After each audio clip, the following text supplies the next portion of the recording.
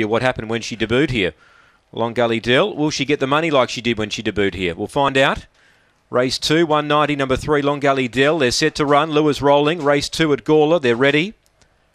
Set racing. Long Gully Dell about third away. Musters now wants to take the lead and will do so. Moving up on the outside, Mazakine three lengths away. Favourite gets away mid race. Then El Serena third the inside. Then Uncan going to fourth.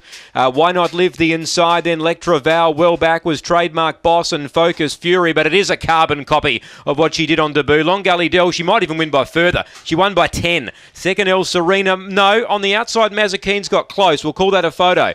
Mazakine and El Serena for the Minors. Fourth placing Uncanned. Then Trademark Boss. Lectra Vow, uh, Why Not Live, and Focus Fury last in its three into photo. Long Gully Dell will win this easily. 22.96, spot on the money. Photo the Minors. El Serena on the inside, just gripping on ahead of Mazakine on the outside, getting third. 3, 1 and 7.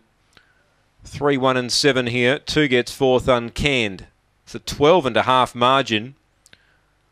12 and a half by uh, the second margin is a nose. Take note. 12 and a half by a nose. 3, 1, 7 and 2. Money spot on. Long Gully Dell straight to the lead. Absolutely blowing them away. 22.96 the time.